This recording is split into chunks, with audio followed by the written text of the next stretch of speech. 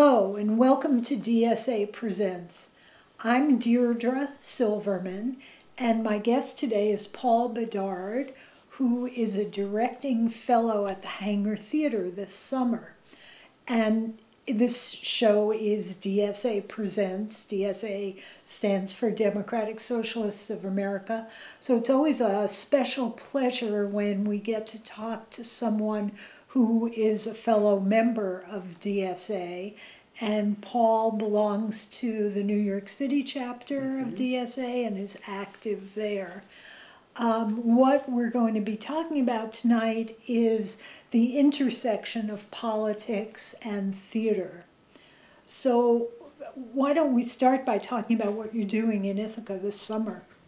Yeah, so I am d- doing a fellowship uh, it's sponsored by the Drama League and is hosted at the uh, Hangar Theater. Um, I'm spending eight weeks in Ithaca. I'm doing. I, I just finished directing a children's show. I did The Emperor's New Clothes. Um, I also did a studio experiment where I had you know 20 hours of rehearsal, uh, but no public presentation. And on that, I did an experiment of how do we live stage a debate, uh, a presidential mm. debate, and we did the infamous debate between uh, Kennedy and Nixon from oh, 1960. Interesting. Um, and now, uh, actually today, I just had our first rehearsal for The Infernal Machine, which is a great play by Jean Cocteau, um, and it is an adaptation of the Oedipus myth that really takes a strong look at class. So I'm doing all three shows, and I taught a class on devised theater.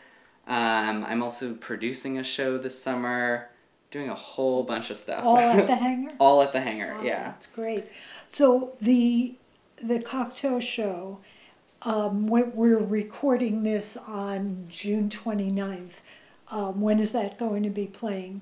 So that's going to be next week. It's July 9th and 10th at the hangar. Um, the, in the evening, they have their main stage is Spring Awakening, which is a musical. Uh, 15 minutes after the main stage is done, outside uh, under the tent is when they have this free presentation. It's called the Wedge Series. Uh, and it's always Drama League directors doing new experimental work uh, right after the main stage. Okay. And it's free. The wedge is a pretty well kept secret in Ithaca, I think. A lot of people who go to the regular hangar performances don't know about it. So, do those performances go on all summer? Do they run yeah, so there along are, with the main stage th- season? Yeah, for the most part. There are four Drama League directors here, um, and each of us have one wedge show. So for these wedge show, it, they each get two nights. Mm-hmm. Um, so we have already had Austin Reagan's presentation of the Trojan Women, which was right after uh, The God of Carnage, which was the main stage at the time. Uh, and then later in the summer, uh, Anisha Katarkar and Dan Rogers will be uh, presenting Mud by Marie-Irene Fornes and Crazy Locomotive, uh, respectively, um, after The Hound of the Baskervilles, which is the main stage show to come. Okay. So, yeah. So your politics informs your theater, and you've described yourself as a director and activist. Mm-hmm. How do you see that happening? Or let's uh, you can talk about it generally or specifically, let's say, the choice of this play? Yeah. So I'm still trying to figure out what it means to be a political theater maker. Um, about a year ago, I uh, was looking for more political education. Uh, so I, that's how I found the DSA, the New York City chapter. Um, I went primarily because I, I had a vague idea of what socialism means in the abstract, but I didn't understand what it practically means in the United States today. What are we doing today that can improve society? Um, I learned a whole bunch at some of the early meetings um, with Maria Svart, who's the uh, national director, but also uh, works with the New York City local chapter. Um, and I started looking into how can I bridge the gap between uh, what I do in a theater and what I either do on the street protesting or in the DSA's national office. Um, so actually in April, a little while ago, uh, the New York City chapter hosted a staged reading of Waiting for Lefty, which is a play by Clifford Odets about uh, union organizing and a, and a great big strike that happens. Um, and afterwards, we had a panel discussion of uh, we had one uh, theater director and we had one uh, uh, union leader. And what was really f- great is the audience was split between theater people who really don't know much about unions other than their relationship to equity, the actors' union. Um, and then we also had some union people who hadn't necessarily been to a theater in a while.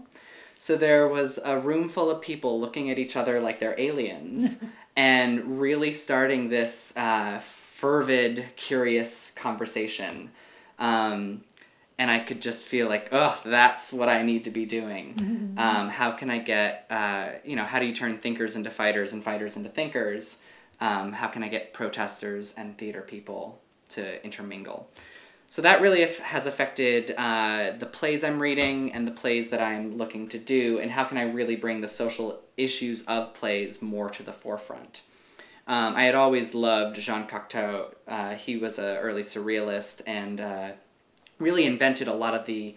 Uh, he was a filmmaker too, and invented a lot of the camera techniques that now look a little silly, but at the time were these radical, outrageous acts uh, with the camera. Um, so I found this one play that he did called uh, The Infernal Machine. Uh, and what I really, really loved about it was that it's not your typical Oedipus story. Uh, it, it, I mean, it still ends badly for Oedipus. Um, you know, his mom slash wife still hangs herself and he still gouges out his eyes. But the play really shows along the way all the moments when it almost stopped.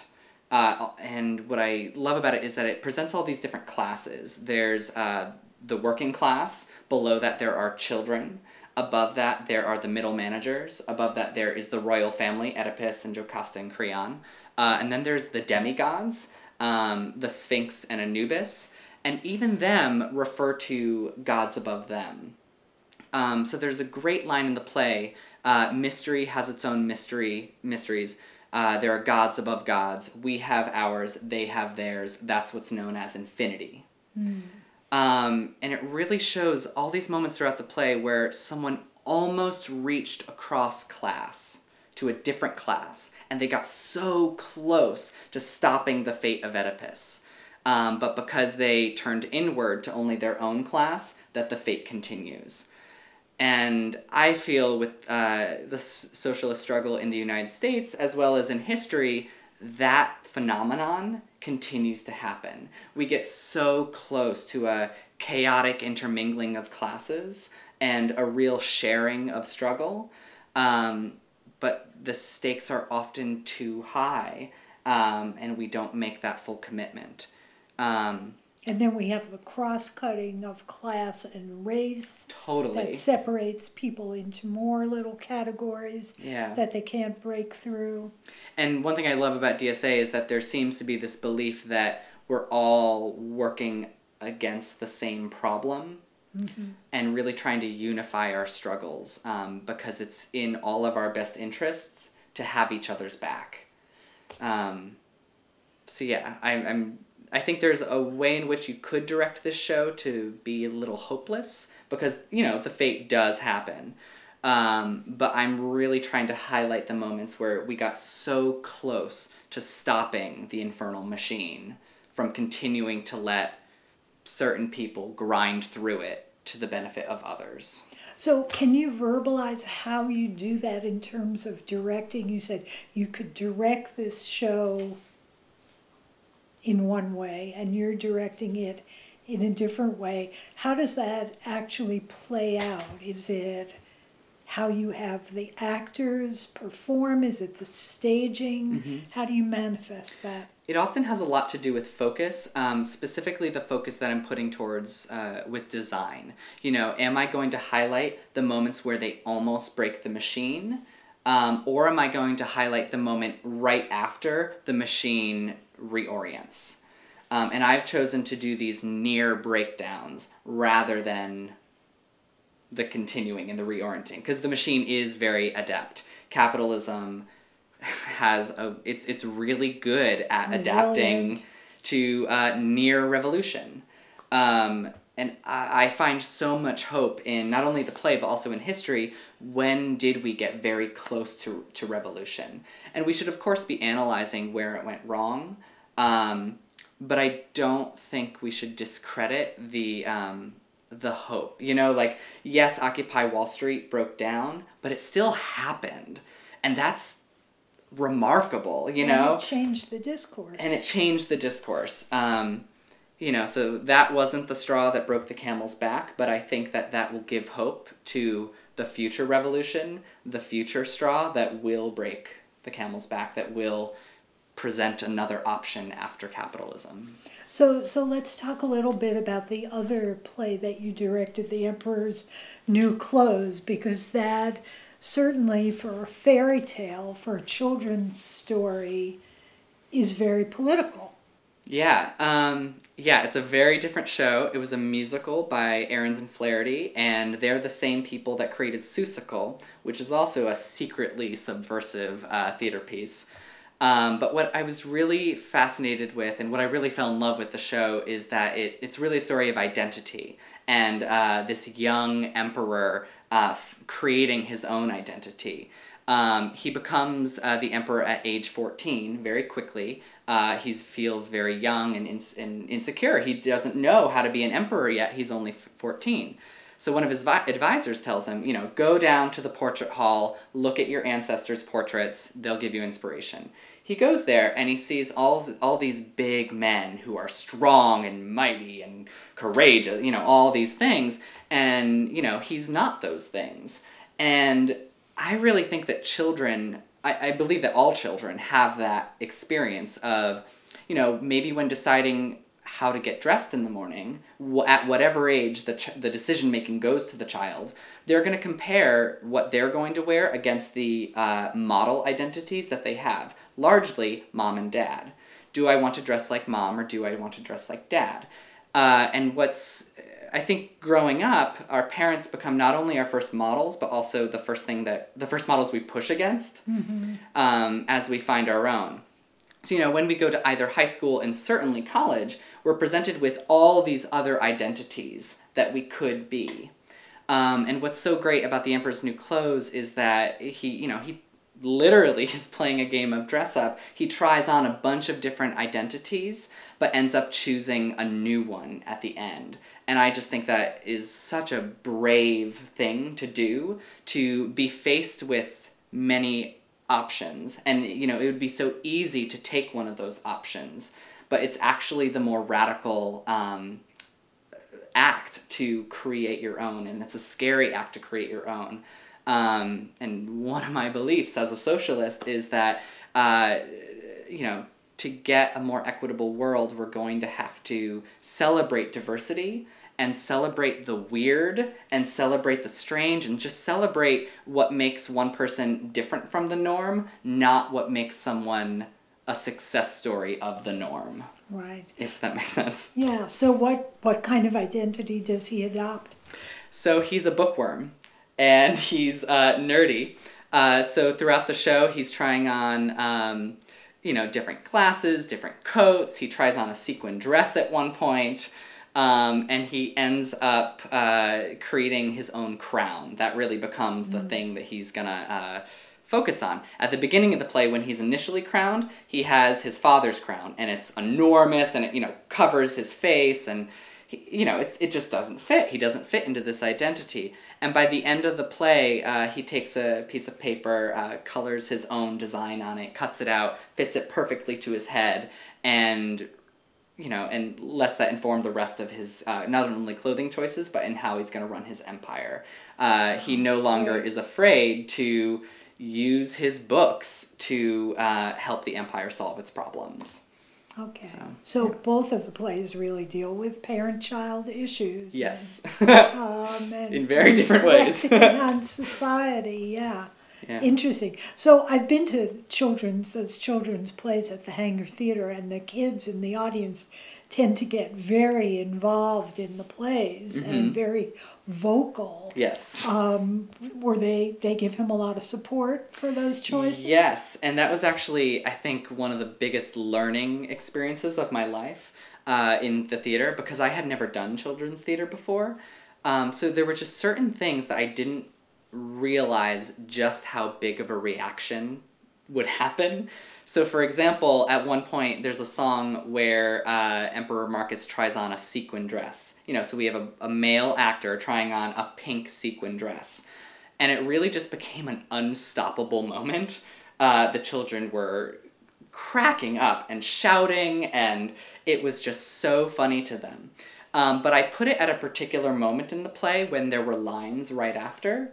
So I really had to learn where do I need to give time for the children to react so that they don't miss the lines that come right after. Um, and all and especially at the very end when he comes, you know, obviously uh, the magical outfit is invisible, it's nothing. So he comes out in his underwear at the end, and that's another unstoppable moment. The children just I mean, they love it. It's hilarious. Um, and they're also, for many of them, it's their first time in a theater. So, you know, they're in a room with 300 other kids and they're cracking each other up. Um, and it was, it was really cool to learn how do I give them the space to react and then how do I pull them back so that we can continue with the story. So um, I, I was so grateful to the drama leading to the hangar for giving me that experience to do something that I had never done before and probably wasn't overly qualified for. uh, but now I, you know, I feel like I have learned so much and could do children's theater again with more adeptness. So I have to warn you that the audience at the Wedge performances doesn't get that involved Yeah. and that vocal. Yeah.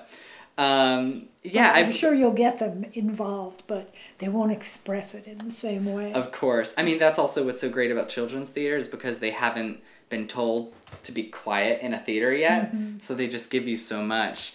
Um, you know, when when my friends, when my mom especially comes to see the Infernal Machine, they're gonna say, "We love it, amazing," even if they were bored. But if a child is bored at any second, you know, you're gonna know. They're gonna start playing with their shoe or you know whatever. Right. So they're so honest, which is really an opportunity for a director to Yeah. mine for information. Yeah.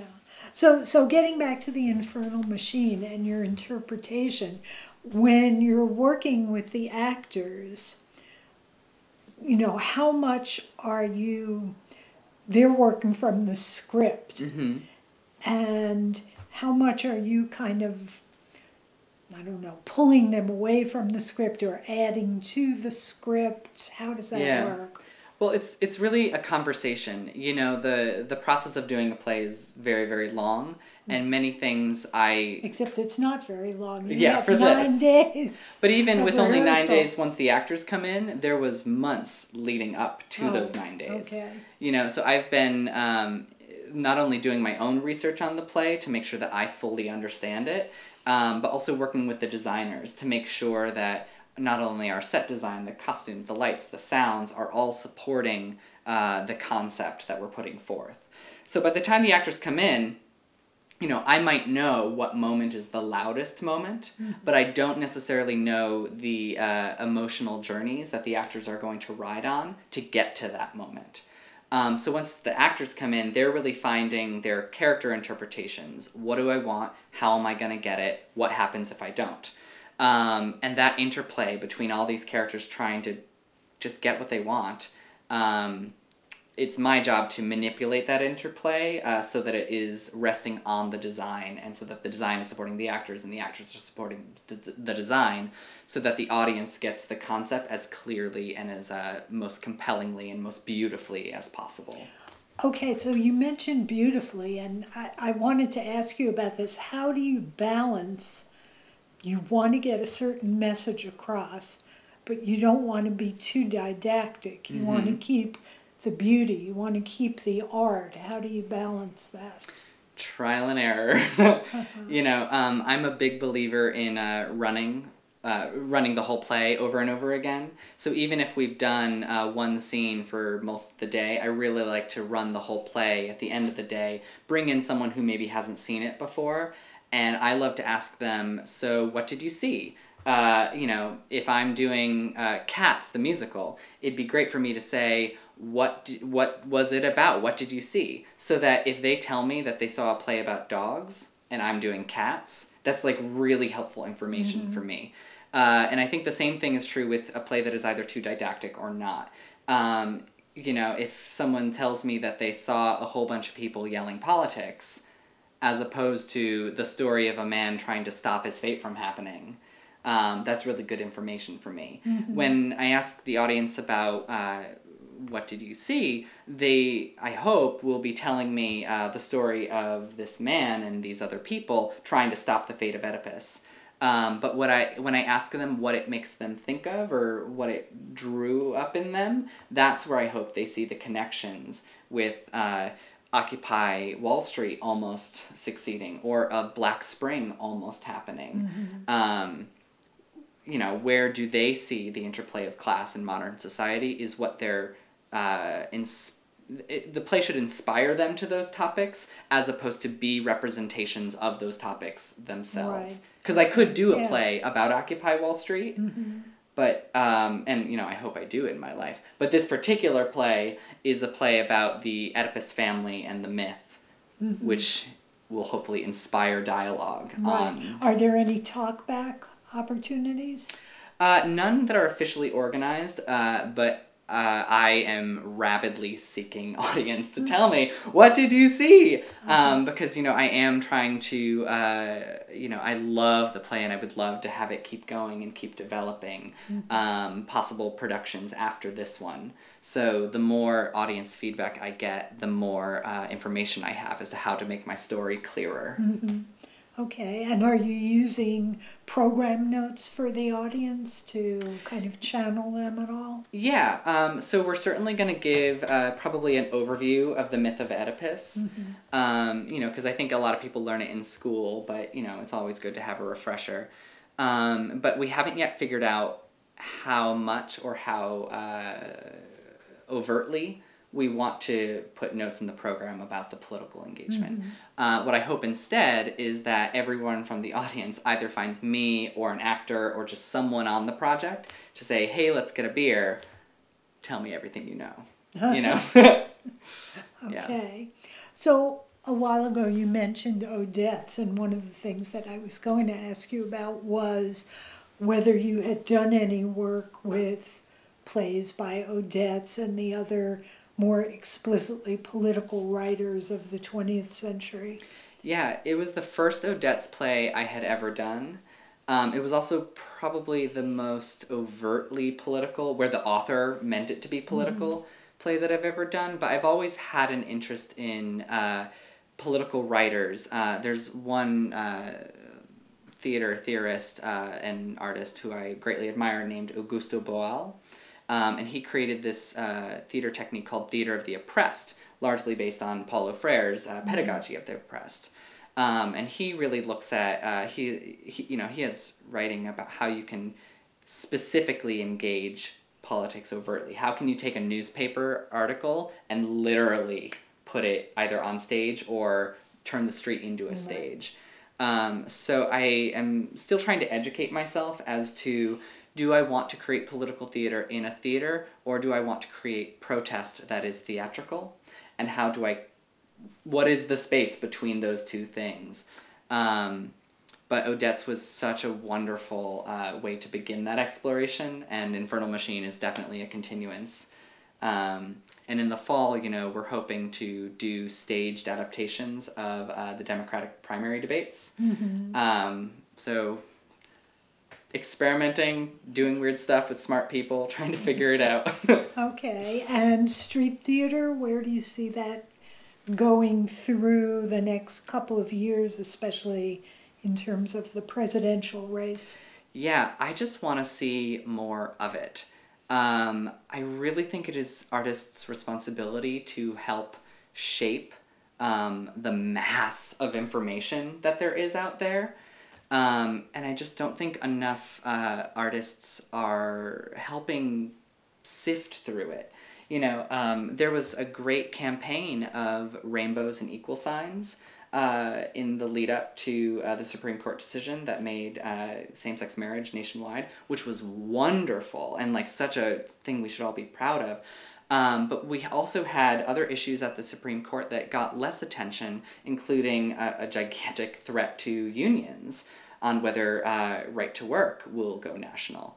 Um, so I really, I don't have much experience in street theater. It's something that I'm still trying to educate myself on how to do it and how do I want to do it. Mm-hmm. Um, but I really hope that uh, it builds and we see more and more of it. Because um, there, especially with the election, there is just so much information, and we need artists to really help us translate that information with our guts and with our hearts, rather than with our minds, which is what the media does ad infinitum. Right. Yeah. And I remember in 2000 there was billionaires for Bush or Gore. Yeah. Doing a lot of street theater, and by 2004 they had realized that maybe it was just billionaires for Bush, and you know, so sometimes that street theater evolves as the politics evolve. Yeah, yeah, yeah. Yeah, and I just hope there's more of it. Uh, the New York chapter uh, of DSA actually has a few theater makers in it. Uh, New York just has a ton of theater makers. Right, sure. Um, so we've been slowly starting to organize and percolate ideas at, to what we might do. Okay. I mean, it would be great if some of those were available, you know, through the internet and video ways. Yeah. Or so, we are also available for touring if anyone wants to fund us. okay, that's an idea. Yeah. So um, I've been talking today with Paul Bedard, who we're lucky to have in Ithaca for the summer as a directing fellow at the Hangar Theater. And Paul, as you've heard, his work is evolving in a number of different directions. I mean, we've talked about children's theater and street theater and political theater and traditional theater. And I've looked at your website, mm-hmm. which is. It's uh, paulhbedard.com. And I expect that through your website, people will be able to follow the progress of these different ideas. Yep, I have a blog on my work, website where I talk about the plays I'm doing. Well, it's the, the concept of combining your socialism with your art is really interesting and a way of helping socialism reach more people yeah. um, in a way that's entertaining and different from what they usually get. Yeah, I hope so. Thanks for watching DSA Presents.